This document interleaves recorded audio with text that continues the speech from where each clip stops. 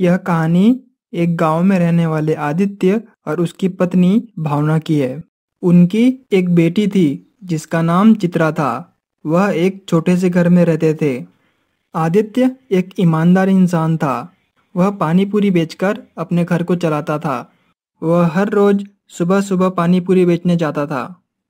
पानी पूरी पानी पूरी स्वादिष्ट पानी पूरी एक बार खाओ बार बार आओ, दस रुपए का एक प्लेट, आइए आइए। ऐसा कहकर गोलगप्पे बेचता था। उसकी पानी पूरी स्वादिष्ट रहती थी, जिसके कारण सभी लोग उसकी पानी पूरी बहुत पसंद करते थे। एक दिन आदित्य पानी पूरी बेचकर घर की ओर लौट रहा था। तभी उसको रास्ते में सुटकेस पड़ा दिखाई दिया। वह सोचता है कि यह सुटकेस किसका होगा? शायद किसी ने खो दिया होगा। मैं इसको अभी ले जा लेता हूँ और सुबह जमींदार को दे दूँगा। वो इसको उसके मालिक तक पहुँचा देगा। ऐसा सोचकर वह सुटकेस अपने साथ ले लेता है। आदित्य की पत्नी उस सुटकेस को देखकर पूछती है कि यह किसका सुटकेस है? आदित्य ने कहा, मुझे नहीं पता। आते आते रास्ते में मिला था। क्या है इस सुटकेस में? आदित्य ने कहा, नहीं, मुझे नहीं पता। मैंने देखा ही नहीं। उसकी पत्नी ने कहा अच्छा तो रुकिए। पहले मैं देखती हूँ, आखिर इस सुटकेस में है क्या? सूटकेस खोलकर देखने पर पता चला कि वह सुटकेस हीरे मोती से भरा पड़ा है। तभी उसकी पत्नी ने कहा, देखा जी आपने, इसमें कितने सारे हीरे मोती पड़े हैं। अब हमें दोबारा मेहनत करने की ज़रूरत नहीं पड़ेगी। भावना, ये सूटकेस हमारा नहीं है। किसी ने खो दिया है। कल सुबह इसे जमींदार को दे देंगे। क्या आप सच में इसे जमींदार को लौटा देंगे? आदित्य कहता है, बिल्कुल। नहीं, हम इस सूटकेस को हमारे पास ही रखेंगे और आपको मेहनत करने की आवश्यकता भी नहीं पड़ेगी। आदित्य थोड़ा सोच में पड़ जाता है। अगर मैं उन हीरे और मोती को लेता हूँ तो गलत है। लेकिन मेरी पत्नी वो सब लेती है तो इसमें मेरी गलती नहीं होगी ना? ऐसा सोचकर अपनी पत्नी से कहता है। किसी और का कमाया हुआ पैसा मुझे खर्च करना ठीक नहीं लगता। मैं अपनी पानी पूरी की दुकान ही चलाऊँगा।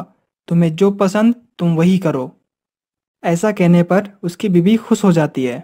कुछ दिन बाद उसकी पत्नी कुछ हीरे मोती को बेचकर एक घर ले लेती है और वे सब उसी घर में चले जाते हैं।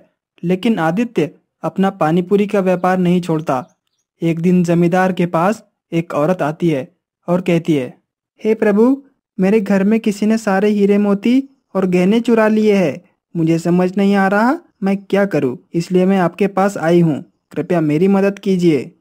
जमींदार कहता है, फ़िक्र न करो माता, मेरे पर भरोसा करके आप चले जाओ। मैं उस चोर को पकड़कर आपको बुलाऊँगा। जमींदार का ऐसा कहने पर वह भरोसा करके वहाँ से चली जाती है।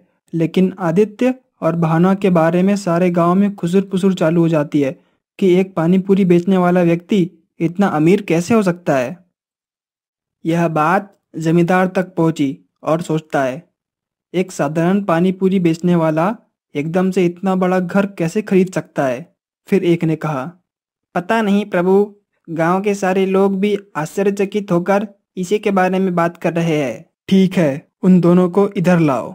सेवक आदित्य और भावना को उसके पास ले जाता है और जमींदार कहता है, देखो आदित्य, मुझे तुम्हारे बारे में सब पता है और तुम्हारे व्यापार के बारे में भी।